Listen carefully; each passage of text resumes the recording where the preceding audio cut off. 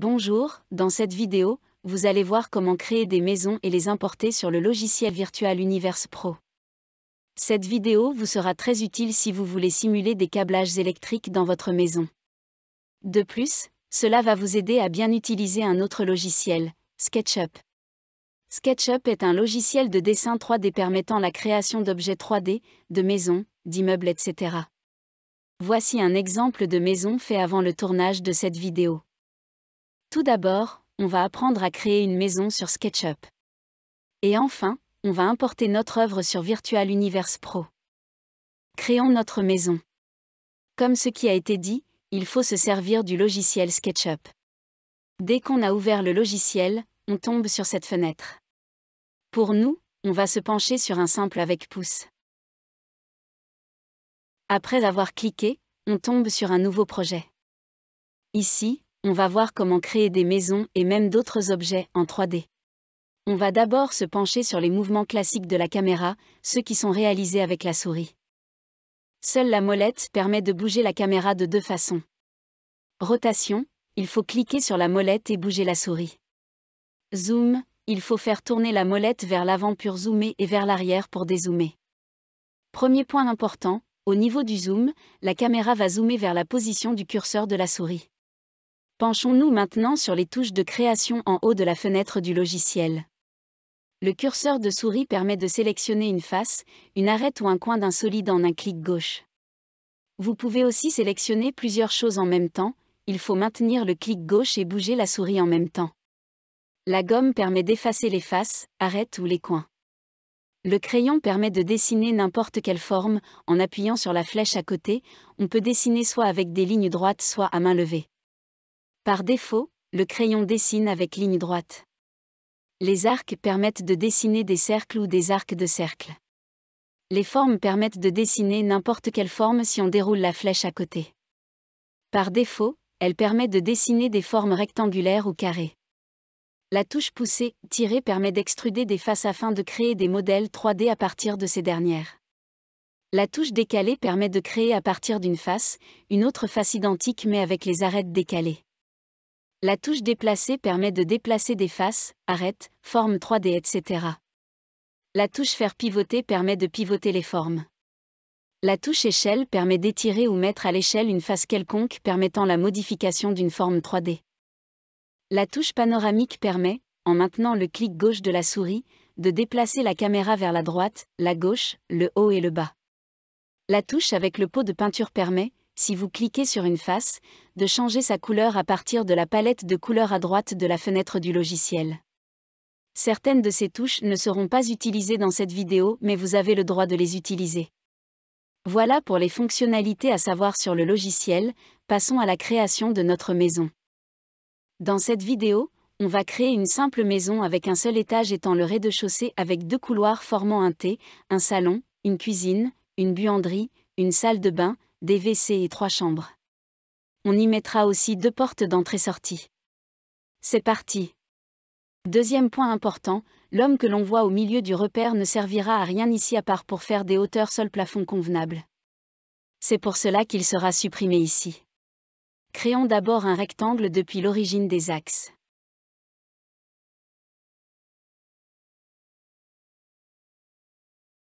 Après cela, on va extruder ce rectangle vers le haut. Après l'avoir extrudé, on va dessiner d'autres rectangles représentant les pièces de la maison.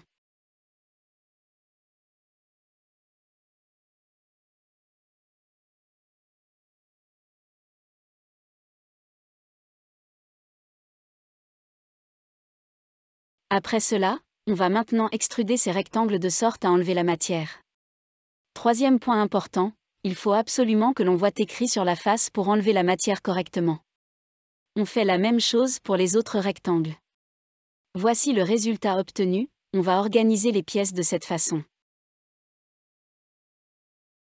Après cela, on va créer des portes et des fenêtres, vous pouvez disposer les portes et les fenêtres comme vous le voulez.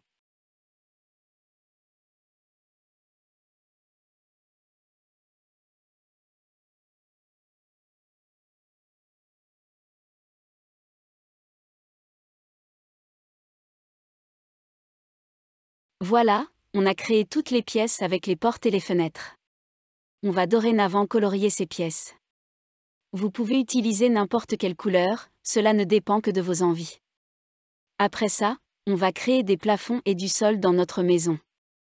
Pour ce faire, on peut soit dessiner un rectangle sur chaque pièce, soit dessiner un seul rectangle sur toutes les pièces. On fait cela pour le plafond et le sol. Pour notre part, on va appliquer la deuxième technique. Après cela, on va créer notre toit, un toit à deux pentes ici. Pour ce faire, on va utiliser le crayon et dessiner un triangle isocèle à partir de la façade de l'entrée principale. Après cela, on va extruder le triangle de sorte à créer un prisme triangulaire allant de la façade d'entrée à la façade opposée, il faut aussi que l'on voit marqué sur l'arête.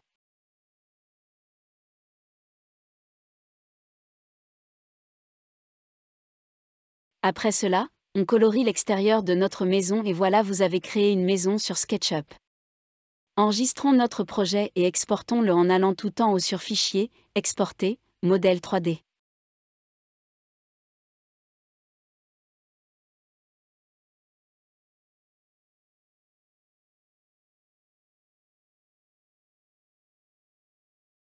On vous demandera sous quel format vous voudrez l'exporter. Le format le plus recommandé est le format 3DS.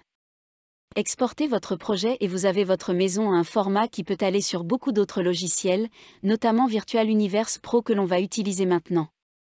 Passons à l'importation de notre maison sur Virtual Universe Pro. On va premièrement ouvrir Virtual Universe Pro. Après cela, on va faire un clic droit sur Monde sur la fenêtre Propriété à gauche.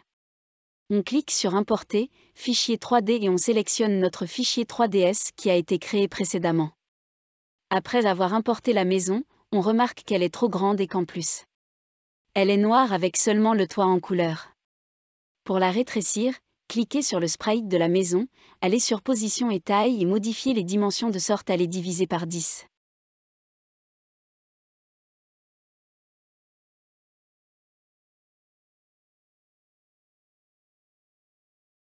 La maison a une taille convenable dorénavant mais toujours pas la couleur qui est revenue. Rassurez-vous, votre maison n'est pas noire mais juste assombrie. En effet, le noir représente de l'ombre. Et l'ombre s'efface avec une chose, la lumière. Il y a déjà une lumière dans le projet, on va s'y inspirer et ajouter quatre lumières. Voici les configurations réalisées dans ces quatre lumières.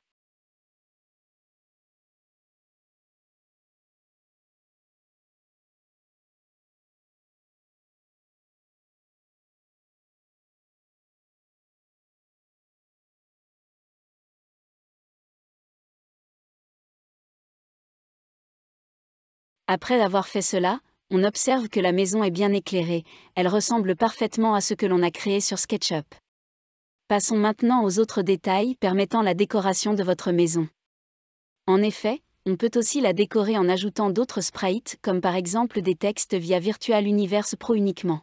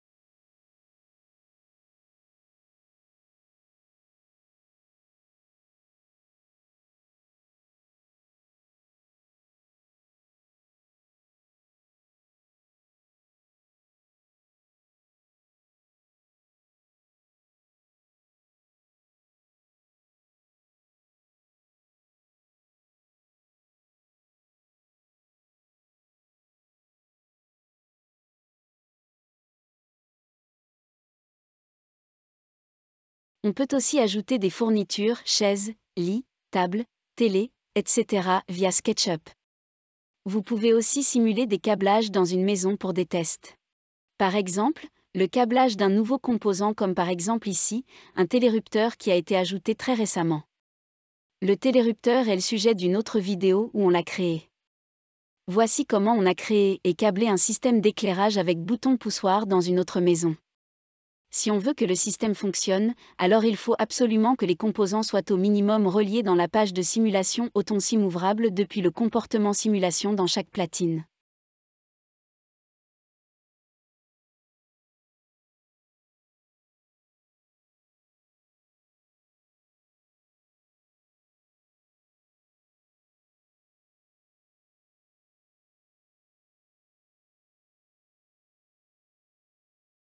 On va essayer de réaliser le même exemple dans l'autre maison qu'on a créée. Ici, on va se pencher sur le même système d'éclairage avec bouton poussoir et télérupteur mais seulement dans le salon de notre maison.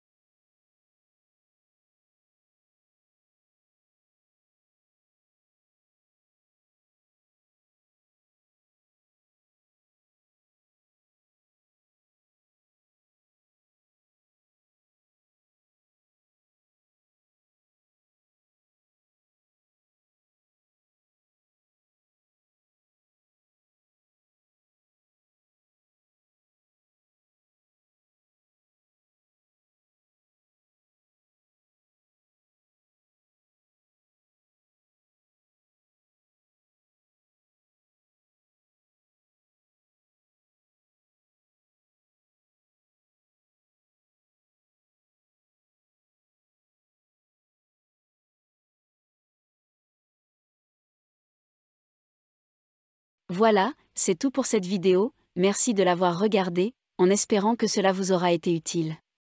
N'hésitez pas à nous contacter pour plus d'informations. À bientôt!